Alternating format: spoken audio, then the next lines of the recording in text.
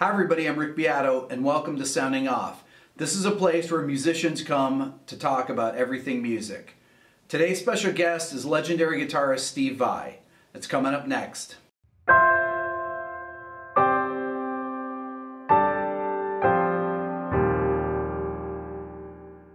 Hey, everybody. I'd like to introduce someone that needs no introduction.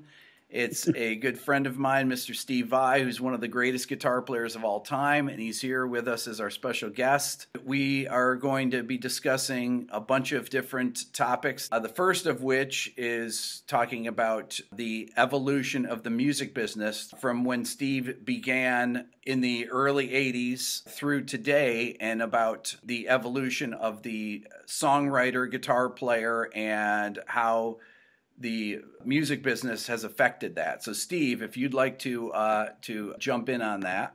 Sure. Yeah.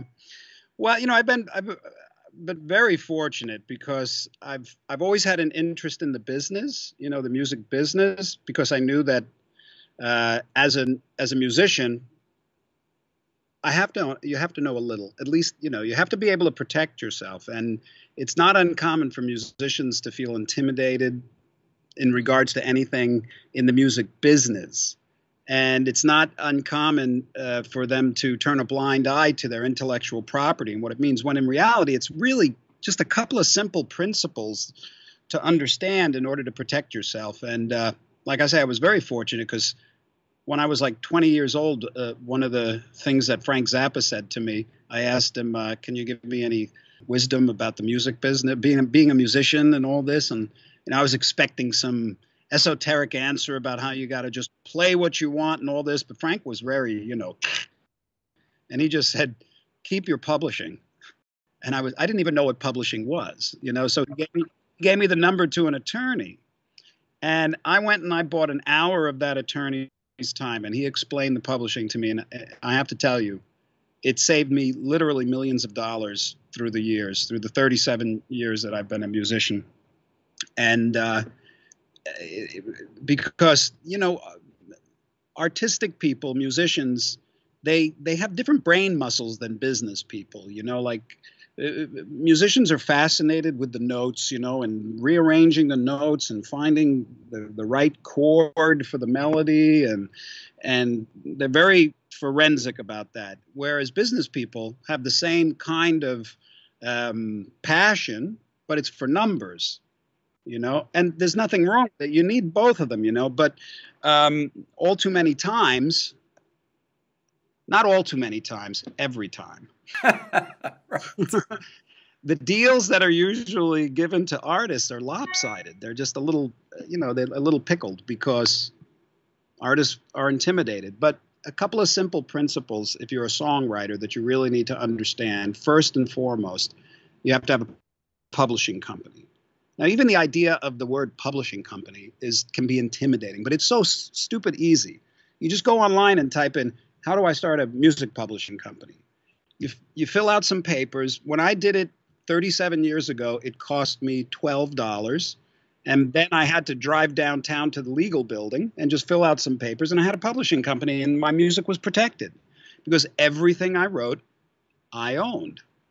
And what I noticed through the years was one of the things that has stood the test of time as far as quality income for an artist is the publishing. You know, you uh, uh, the, the, the technology of the way we um, make music, the way we sell it, the way we listen to it, the you know the way we uh, purchase it. It's all been it's changing. It's constantly been changing, and it's going to continue to change. We always think we've made it. I remember when CDs came out, everybody was like, "Oh, this is it." Far from it. And now that now we have streaming, far from it. It's going to continue to evolve, but the but your intellectual rights will follow the evolution of technology if you keep on it. Now, intellectual rights are what that means is that term is if you're a um, if you're a landowner or you own a business or you have inventory, uh, that's your equity. Your house is your equity if you own it. Your uh, the things you own, if you have a guitar or something, that's equity. It's hard asset.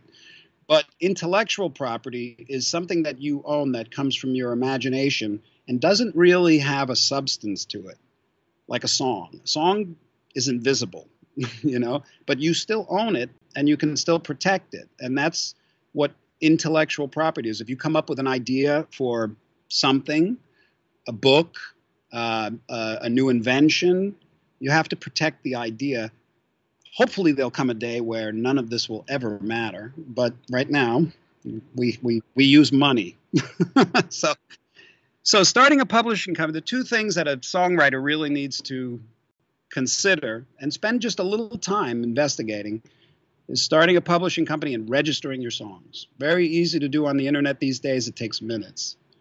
And also, um, you know, one of the things I've noticed is basically three different mentalities that a musician has in regards to technology. A lot of times, it's the, the main number one perspective is the doom and gloom, which means, which sounds something like technology has destroyed my ability to be a pr- prosperous, thriving musician. Everything sucks. I can't make any money. Look at all these things that everybody's doing. I get paid pennies, less than pennies. I get paid fractions of frac. Well, okay, and and and technology is the devil because it's ruined my career. Well, that's one perspective. And if that is your perspective, chances are uh, it'll be your reality. Well, not chances, but it will be reality. Will be reality. Now, this a second perspective, which uh, is easy to shift to, and is very, very, very helpful for a musician that might uh, be overwhelmed with the doom and gloom, which is really panic, um, frustration, all this stuff, is uh, okay. Well, there's all this technology out there. How can it serve me? How can I how can I use this technology to to in my career? And that's a, a healthy attitude because the technology is there for you. It really is. And there's a multitude of ways, much, much more now than ever, than ever. before in history. Yeah. To be to be independent and to own, control, and collect full, fully on all of your intellectual property and uh, the the masters you control, if you if you control any. There's so many more ways to exploit them independently. You know, there's YouTube. You know, there's uh, there's all sorts of different internet radio. There's uh, digital distribution that you can set up in in minutes on these wonderful digital aggregate platforms like TuneCore or CD Baby. You can market because that's really the key. You can you can put all your music up digitally and own everything that comes in for it. But if you don't market it, you you won't sell anything.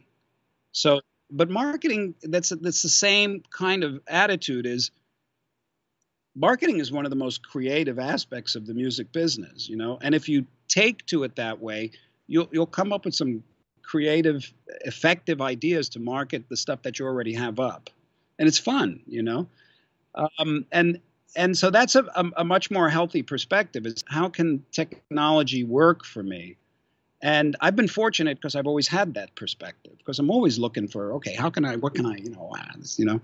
But uh, there's a third perspective that is reserved for people who can breathe that very thin air, and it's uh, okay, well, this is what's available right now in technology. What is it lacking? What is it missing?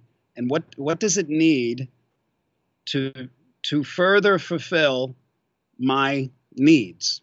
Like, what would be the, something really cool that's not happening right now?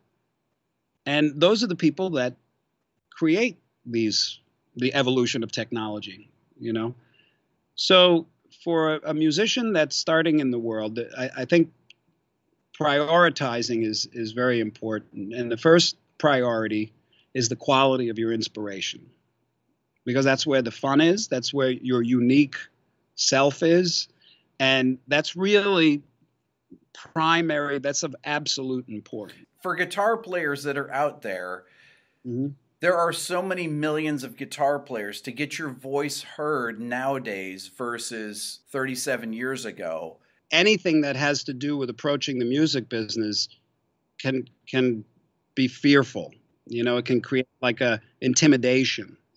But that's you just you just need to look at that that uh, you need to ask yourself how do you feel about this? Because the music business is vast. I love the music business. I really do. I, I i it's a great business. I mean you hear all these stories and sure yeah a lot of it's true but you don't hear a lot of people talking about how great it is. I mean there's so many creative people in it.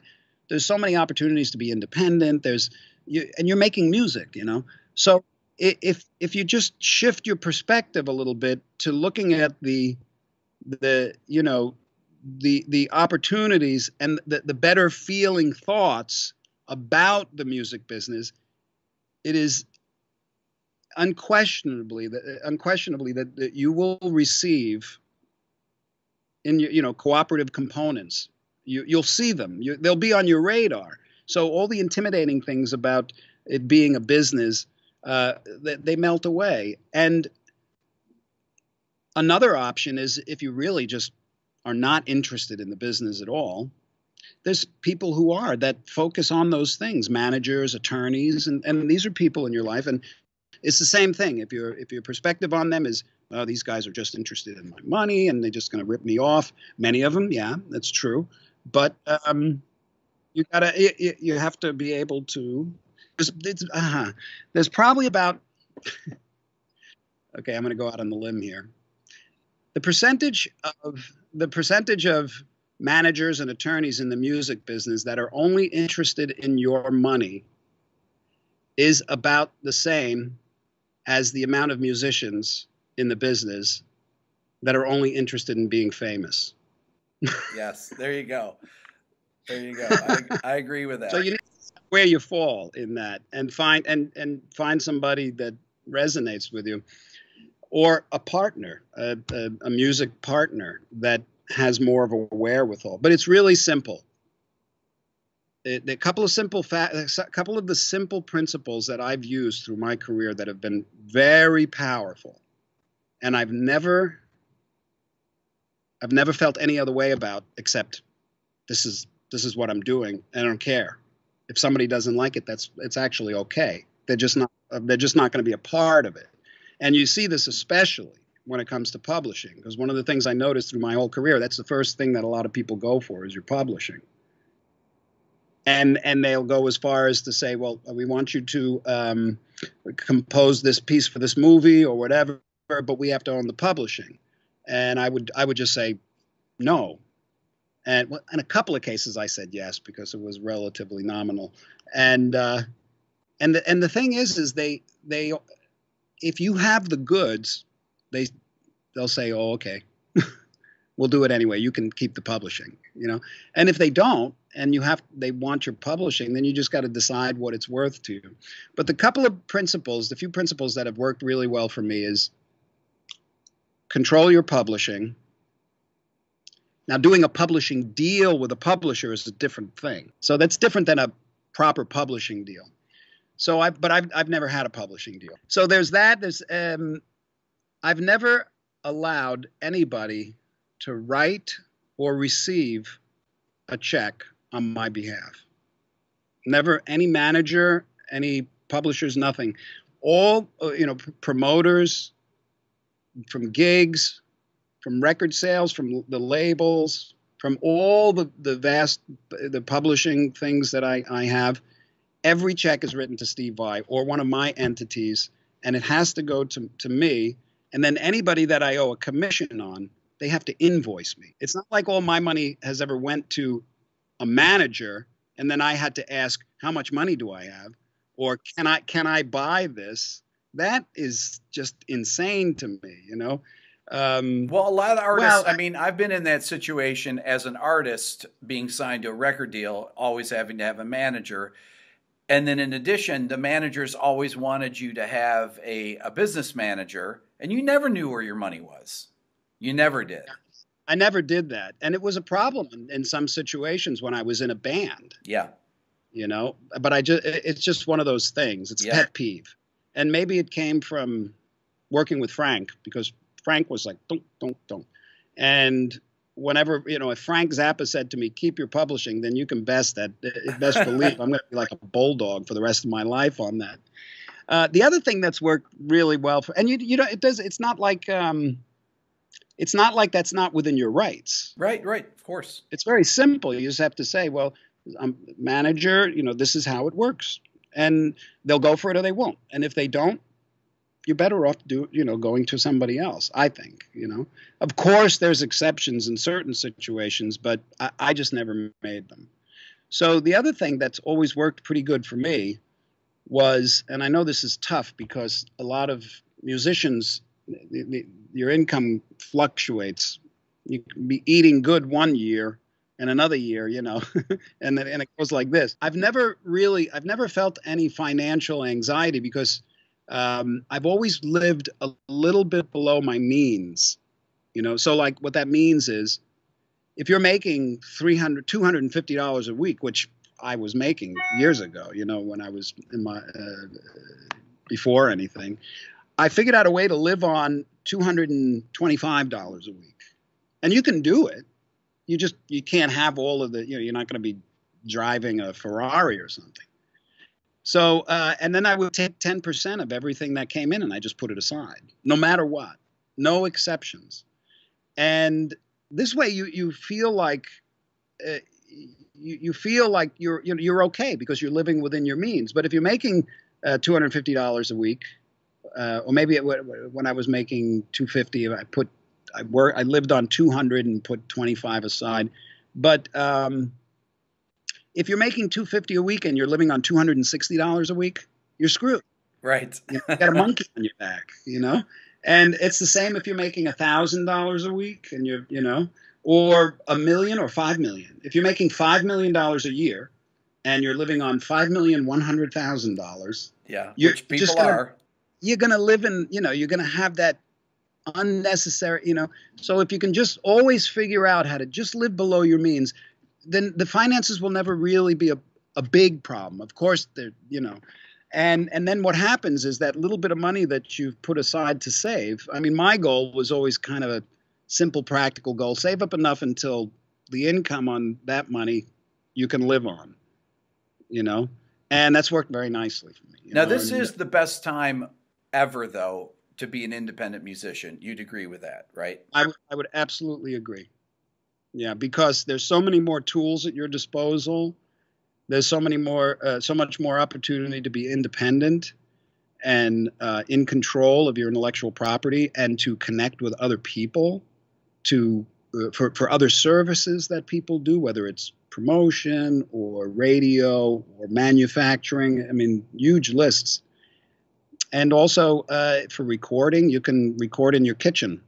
A really great sounding record, you know. You've now you, have always been very big on the recording side. You have always had a recording studio. You've done. You've been involved on the production side of things, um, more more than most most players. And can you talk about how important that has been for you? For you? Well, it, it was it was important for me because I was very interested in it. Like engineering and uh, engineering goes, I just always was absolutely fascinated with the engineering process, manipulating sound, recording it, overdubbing on it, twisting it, playing it backwards. I just loved that, and uh, it was a very natural thing for me to want to do it. And production, the same thing. I, I really enjoy producing because I kind of know what I want, and I know how to get it and if I don't, I'll call, I'll call somebody. Uh, but because I've kind of had this rounded approach, it's not it's not the right approach or the wrong approach. It's just my approach, you know. So if you're interested in that kind of stuff, it, it, it it's you, you'll find yourself just doing it all. And I know people that do, even small independent bands. But if you're not, that's okay because you don't need to add more pressure in your mind that you need to be able to do all that stuff. What I would recommend doing if you're not interested in that stuff is working with people who are and let okay. them do it. Now, I want to ask you about um, when you first started in the music business with Frank Zappa. How did that affect you as a musician? Um, I was always interested in composition. I, I always thought that musical notation on paper looked like art. You know, it was just beautiful to me, and I wanted to understand that language completely. I really was very under average at everything else. Honestly, when I was a kid, there was nothing special about me that I, I find that of. hard to believe. Uh, that's true. I mean, it's true. If you went back and looked at my grades and stuff, you know. uh, uh, but I seem to have um, just sort of an understanding of music. I don't, don't know why. Karma, I don't know. Um, so I started to compose at an early age, and then when I was taking music music theory classes in high school, I had the greatest teacher, this guy Bill Westcott, and from the age of 12 to um, 17 when I graduated, every day I took his class, and he was he was hard, man. I mean, this guy taught me everything about music, all music theory you'd ever want to know, composition, all classical analyzations, and he got me into transcribing. But as a teenage rock guitar player, you're transcribing when you're listening to Led Zeppelin Sure. or whatever, and you're trying to copy that stuff. Yeah. But I got more formally into transcribing when I went to Berklee. Then I started like actually doing a lot of write, listening and writing down of music, and uh, I was really into Frank, Frank Zappa, uh, and when I heard the Black Page, uh, which was on his Live in New York record, there was something about it that said, "This is not an ordinary piece of music. Mhm. This is this is an, a planet unto itself." It was. It's one of the most unique pieces of music I've ever heard or seen, and um, and I tried to. I I transcribed it. Now, this was when I was first now getting introduced to some of the uh, the real artistic notations and rhythmic divisions uh, known as sub uh, known as polyrhythms or tuplets, you know. And when I realized what they were, I instinctually had an understanding of this vast mathematical possibilities of them, not just like quintuplets, which are five notes in the space of four, or uh, septuplets, or you know, um, uh, polyrhythms that go over odd numbers, like five on three. So when I or or and the rest. So I remember when I heard it, I, the Black Page, I was like, "There's something going on here that's unlike anything," you know. So I tried transcribing it, and then just as fate would have it, the band UK came to town, and Was, I had was Allan Holdsworth playing with him then? Allan Holdsworth was playing with him, Okay. and Eddie Jobson was the keyboard player, and Eddie Eddie had played with Frank. Yeah. and I was talking to him about the Black Page, and he told me about these polyrhythms and stuff. And then he told me, he showed me, he made a little example of this one bar that had. Uh, this was so brilliant on Frank's part. I mean, where it comes from, where it, well, I forget. So he had taken taken a, a half note triplet and put it on top of a bar of four four. So you take you have three half notes instead of four quarter notes or two half notes. So it's like a it's like a big, you know, quarter note triplet, so to speak, but it's half note. right.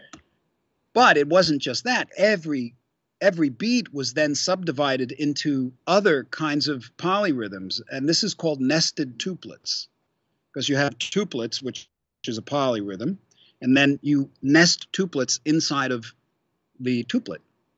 So they're called nested tuplets. Well, Frank had nested, nested, nested tuplets inside of this one bar Right. and it's the bar that goes dun dun dun dun dun dun dun dun bum bum bum bum bum bum bum bum bum bum.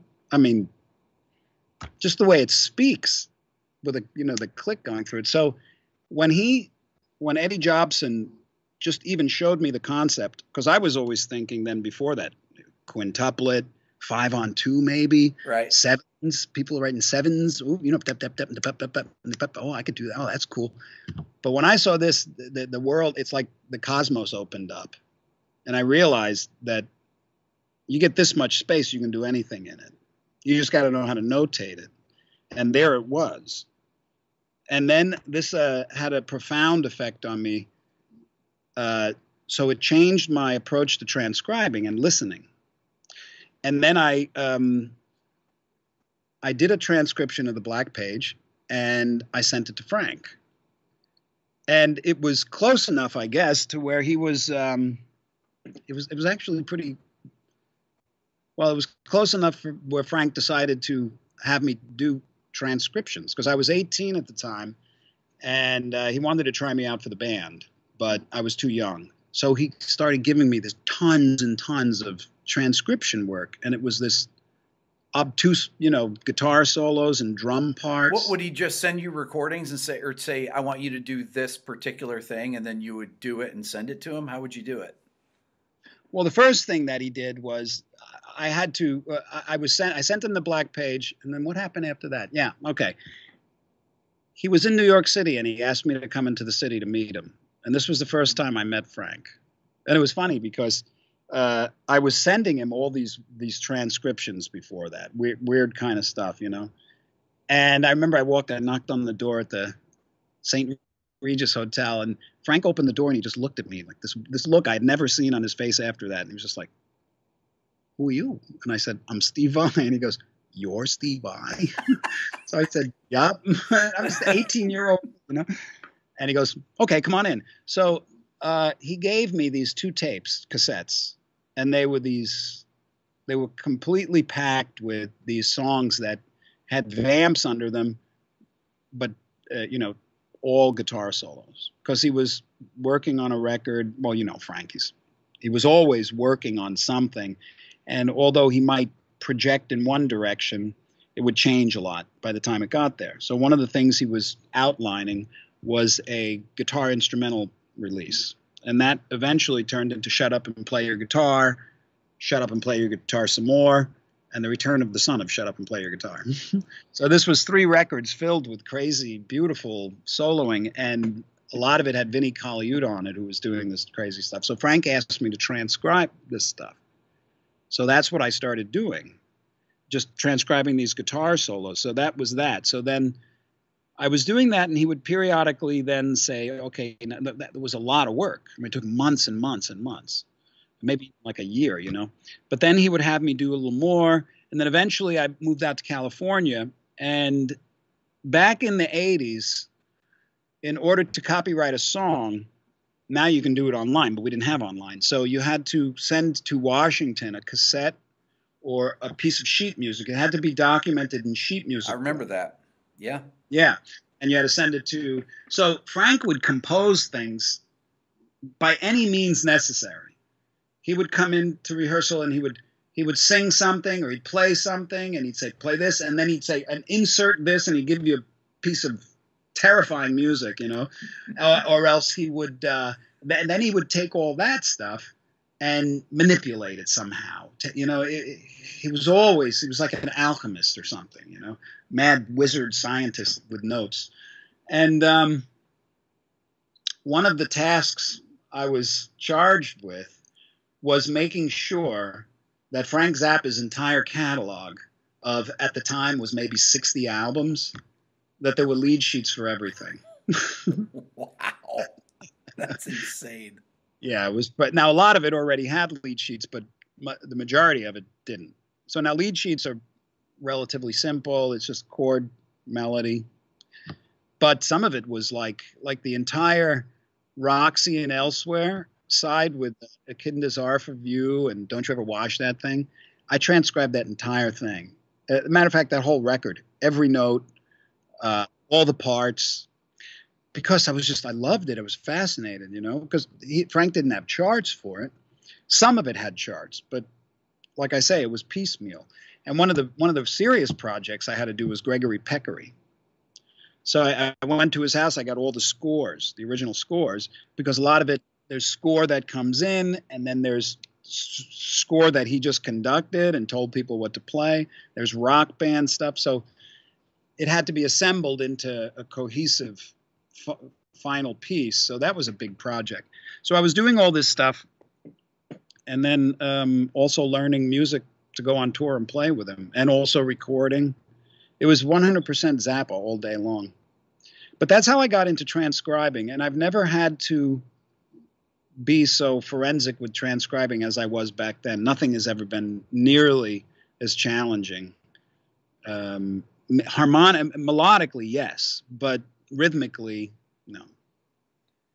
It's it's pretty amazing. I mean, when I look at the transcriptions, the the um, and this is before people don't realize that this is the the years of cassette tapes and there was no devices there was nothing to slow anything down correct? I mean you just it, th- that was it. There was nothing to aid you. There was no youtube. There was no there was nothing you had to just not listen to it I not have anything like that i had this little cassette player that was broken on one side so i was only getting one side. okay this is like pre pre Marantz that could slow things down too, right? Exactly, exactly. Yeah. At my fingers on the uh, play rewind. Yeah. I was faster at that than any scale I could muster. and that poor machine broke down so many times I had to bring it into repair in, in Boston when I was going to school there. Uh, but that's what I used. But I, I had it down. You know, I could listen to something. I would listen to two beats of music over and over and over. And, you know, whatever it was. You know, so uh, that's what I use. But now you can s- slow it down without without changing, the pitch. Let me know, ask you this, Steve. So when you have these uh, these really complex polyrhythms that you're trying to write down uh, to transcribe, do you conduct? How do you how do you subdivide the beat when you're listening to it? Okay, good. That's a good question. Well, first, I, I my my ears. I had to develop um, a comfort zone for polyrhythms in my ear. And I, I, really enjoyed doing that. And that happened all through my Berklee days. I, I had mentioned to you the book uh, Modern Music Notation by Gardner Read. That book was, there you have it. That book was recommended to me by Frank. He said that's how that's how I learned how to compose through that book because it it's a great document for the rules and regulations of notational composition. It doesn't dive into the idiosyncrasies of the instruments usually that much, you know. But there's another book that is was for me more of a Bible in that regards, and that was uh, uh, William Blatter's. Uh, I, I, I want to. I don't want to get this wrong, but it's something like Principles of Modern Orchestration, or I have to look that. You know, if you want to check on that. But uh, so in in the modern music notation, the Gardner Read book, there was all this gr- great information about how polyrhythms are actually subdivided and how you can hear, like, yeah, like on a five on two, the the beat falls in be- on the end of the third note in the five, you know. Um, so you'd have one, two, three, four, five, one. That's an even five on two. I would, so I would walk around Boston all day, and my my my feet were the beat, and uh, I would sing any. I would try to get like eleven on seven. That's that's weird stuff, you know. But after a while, what happens is it's just like, oh, I get it. It's like learning a language or something. The the the feeling of it, it kicks in. It's like when you hear. Yeah, it's it's they come in your ear, but you recognize them by the way they make you feel in a way. I know that sounds kind of abstract, but when you listen to 16th notes, it's easy. They just sound like, you know, you know what 16ths sound like, or triplets or eighth notes. But when you study the other kinds of sounds, eventually they they have a they create a footprint in your head. So when I was doing like the Frank transcriptions, uh, m- most of the songs had there was a beat so I knew I had to first feel where the beat was. Right. That's your that's your grounding. That's the foundation of your transcription. Basically, is where's where's the beat. So once you know where that is, and if Vinnie's playing drums, it can be a little challenging to find out where that beat is because he takes it way out. but uh, a lot of it was you know you you can feel it and then you start hearing some of the phrasings and stuff and the way i was doing it it was i was taking more of a like an artistic approach in that uh, i was sculpting what i think what i thought it was going to look like on paper by the way i was hearing it. I, I, I know it's not a very satisfying answer, but I would listen and then you just you just listen and you, you you create a mental snapshot of, of what it is and then there's a sense of what it what how you could replicate that in in rhythmic form so that it would it would fall into place. Now a lot of people if if they were hearing a quintuplet and the guy or the guy went do do do do do do do do do do do do do do one two three four five one two three four five they would write a quintuplet but that's not a quintuplet a quintuplet is it's even but people they'll do a seven they'll go one two three four five six seven one two three four five six seven one two three four five six that's not it at all you, you understand what i'm saying it's so then I would take what most people might write as a seven or even a triplet, you know, and I would really make it look like what it, in my imagination, make it look like what it sounds. So it was a very artistic project, and having a, a vast understanding of polyrhythms and you know the the nested polyrhythms and nesting nested polyrhythms or whatever the terminology is. I never got that far, but I did it. Um, it was just very creative and very fun, and it was a meditation, you know. So that's how it kind of was for me. When you when when you talk about players like Vinnie Colaiuta, who's who's one of the greatest drummers that plays these polyrhythms. You know, you know when Vinnie will superimpose another meter on top of the meter that's still oh. going on.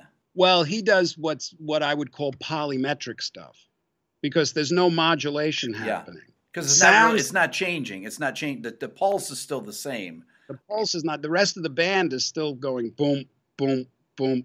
And Vinnie's. Uh, I, I think it's sort of like um, he has a sense of where the beat is intrinsically at all times and that's the heartbeat. It's like you have a heartbeat but you can do all sorts of other things on top of your heartbeat. Uh, you know what i'm saying? So i think like the the the, the basic pulse for vinnie and he'd be the best one to talk to about it but from transcribing all of all that stuff and all of his drum parts my my sense is that he has a always, always there is one, two, three, or whatever it is. But man, what he does with it is it's inspired. It's not even I don't think he's thinking technically. He'll do he'll do things that will sound like superimposed metric modulations, but they're really just um, polymetric stuff. You know, like he'll or or uh, polyrhythmic really. So because he'll he'll play like this and then he may go on to a quarter note triplet beat, you know, uh, and then turn that into triplets on top of it. So if this is the new beat, he still knows where one and whatever. But then he'll go and then he'll put nested tuplets on top of these huge polyrhythms inside of the quarter note, you know, inside of the new beat but he'll always know where one is. He always knows. Yes. I've never I've never heard and I've stood I've stood this close to him for 3 months once and and played and watched him and Frank go to Venus, you know? and he never misses, you know? He just never he just it's his heartbeat. Fascinating. But I really don't think that he's thinking about any of that stuff. He can, he knows it but I think he's just going with the moment, you know. Because if you had to think about that stuff, I don't know. There's no time. Because some of it is when I listened to it when I was transcribing it, it's unthinkable. It's just, it's just uh, instant, automatic.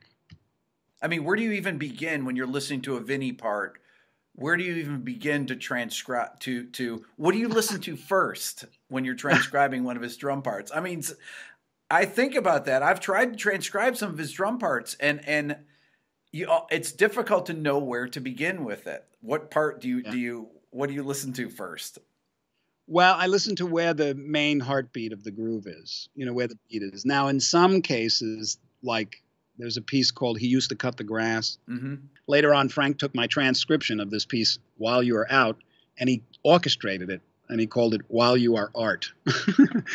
so, the, with Vinnie, the first thing I would listen to is where where the heck the beat is. In those situations where they would just go off, there's a little more freedom because then you can kind of create your own beat based on their ideas of where one might be. But when the first thing I, I listen to always is is what I would do these days is record, you know, take the recording and put a beat to it. Yeah. Click so you can hear. That's going to clear up a lot of things. Yeah. But then then you got to kind of just listen and see if you can resonate with the conceptual ideas he was thinking of when he was going off, whether he knew it or not. I mean, obviously, Vinnie knows if he's start if he's doing something with a super like a hemiola rhythm where you, you're taking um, uh, quarter a quarter note triplet and putting it on top of two beats, and then accenting and creating different meter within that so this is this incredible polymeter stuff going on. He knows, he he knows, but I think in the in the moment of inspiration, he's just going for a, an immediate vibe. But and because he knows where one is, he doesn't have to know necessarily exactly what he's doing. It right. just doesn't. So then it's your job as a transcriptionist to listen and try to enter that headspace and hear where his like if he's going to go if you go if you hear something like this and he goes it's obvious that he's doing fives. Yeah. Where they fall in the beat you you just take the ring of them and find out where they're starting and when they're ending and just take that whole group of them with the accents and the, and then you superimpose that in a nested tuplet over those beats you know? But the thing with Vinnie is he wouldn't just do fives you know? He would he would he would go out there, and um, so that's why some of it's some of those uh, transcriptions are, are, more artistic than maybe perfectly rhythmically accurate because you how do you how do you really define that kind of thing you know I, I get it as close as i can in my mind to what I think it would sound like if somebody was to actually reproduce what I wrote. But a portion of it, I probably try. I probably go to the same place that he's going in the artistic value of it. Does that make sense? Yeah. Yeah. Okay. Yeah.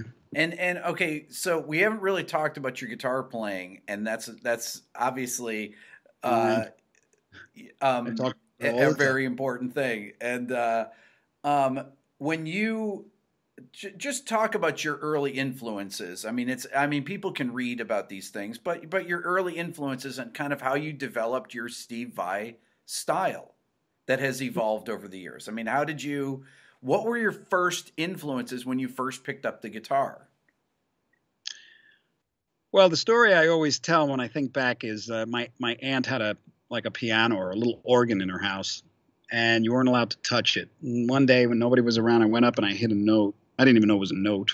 It just looked like a funny piece of furniture. and a sound came out, and then I noticed to the right the notes got higher, and to the left they got lower. And uh, I, I, I said, "Oh, that's music." Oh, I see. And I just, I don't, like I say, I was very under average, not very aware of so many things that are natural to people.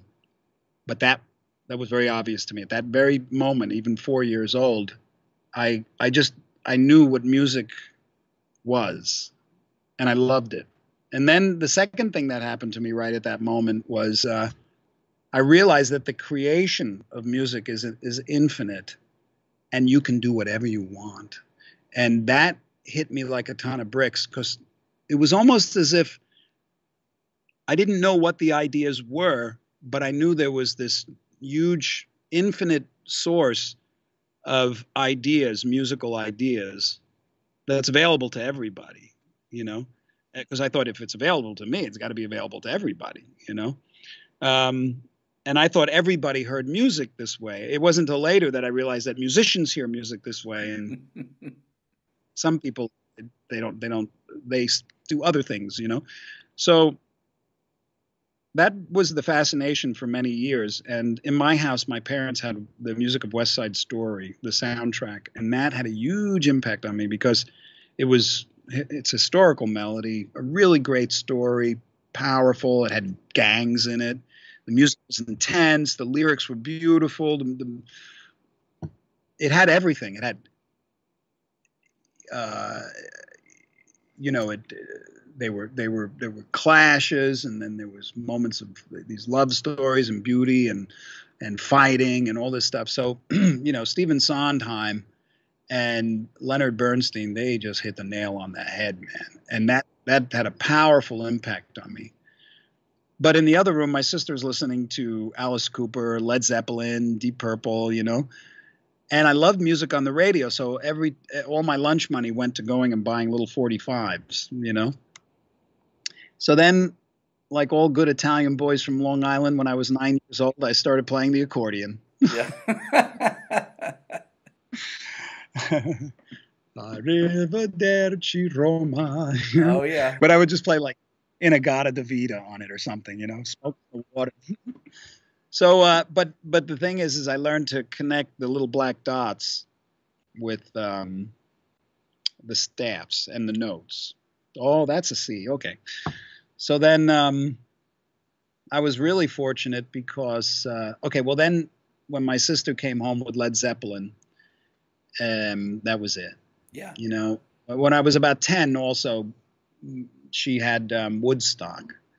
And the, the eight track player, because you remember eight tracks? Oh, yeah, of course. Yeah. It was broken and it only played one track over and over. And that track was Jimi Hendrix Star Spangled Banner. If, if that eight track machine wasn't broken, I don't know what I'd be doing right now. uh, and uh, Sly and the Family Stone want to take you higher. But I never conceived of playing the guitar because it just seemed totally out of my reach. It was just like this big boy game, you know, way too cool for me. Uh, but then when I was uh, very young, I saw a young boy playing the guitar, and that was it. That sealed the deal. I said, one day I got to play the guitar, and I was about eight. And then when I was 12, and I heard Led Zeppelin, Heartbreaker, yeah. and how cool it was to be a rock star, you know, I just thought, uh, that's what I want. I'm going to play the guitar because that's what I want. And I secretly went out and found a guitar from a bought, a, bought it from a friend of mine for five dollars. And then another friend of mine down the street had a guitar, and he was play. He could play like you know Aqualung, and that was like astonishing to me that somebody oh, yeah. that lived in my town could play, play Aqualung. That's, that's. Song, you know. And I said to him, You must be the, the best guitar player in town. And he said, Well, if you think I'm good, you should see my guitar teacher, Joe Satriani. And sure enough, Joe Satriani lived in my town, the same town I lived in. Well, we went to the same school and everything. And he taught guitar, and he was about four, four or so years older than me. So when you're 12, somebody that's 15 is like a god, oh, especially yeah. they can go, you know, you know. So I started taking lessons from Joe, and that that was you know revelatory for me because Joe was then teaching me how to connect the dots of all the theory that I was learning in high school mm-hmm. to the guitar, you know, and uh, you know that's pretty much it. Uh, then when I got when I went, I wanted to. I was one of these people that really wanted to understand music theory and, and know it and know how to write music and compose and orchestrate so I studied I studied that all through high school, and then I went to Berklee, and that was a great experience going to Berklee. You know, um, and then while at Berklee, I hooked up with Frank, and then after that, I I was in a string of metal bands in the '80s, and that was a lot of fun. Yeah, you know, some yeah yeahs out there, and uh, then in '90, I kind of felt a pull to go to the kind of music that the four year old kid that was hitting the note on the piano was hearing in his head. And that's when I made Passion and Warfare. And I've been a solo artist since. Well, Steve, this is really fantastic. I really appreciate you uh, spending time and uh, and talking with me about this, and and uh, I look forward to to chatting with you more. And you and, got it. Well, you know, I've done thousands of interviews but no one has ever asked me about polyrhythms, and it's something I know a lot about. But um, really, with with polyrhythms, it's a feel thing. It's the ability to kind of feel a beat, and then almost a part of you is projecting into where you where the downbeat of the the end of the polyrhythm is going to go. Yeah. And we're playing, but in the moment. So, but it's great uh, when when you start incorporating these things into your playing.